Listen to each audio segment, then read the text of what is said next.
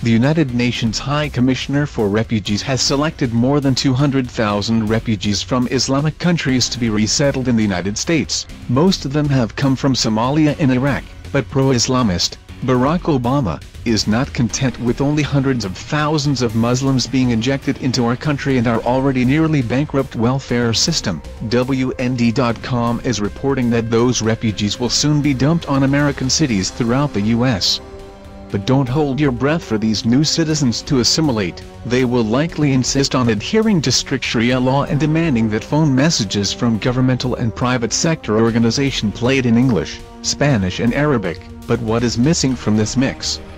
The hundreds of thousands of peace-loving Christians who have been driven out of their homes in Iraq, these potential citizens would assimilate into Western culture, adopting our customs and values.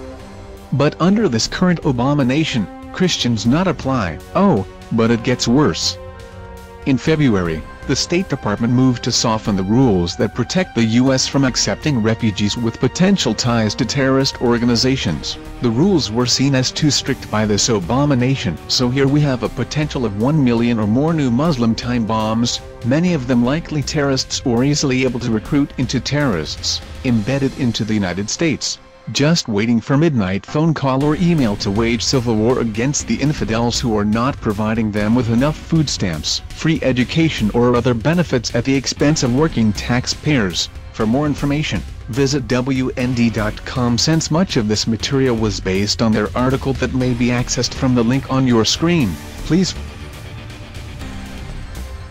Please forward a copy of this video to your congressman and to every red-blooded American you know who does not want this nation to exchange its current Judeo-Christian culture and freedoms for one resembling most nations in the Middle East with virtually no personal freedoms other than the freedom to be a Muslim.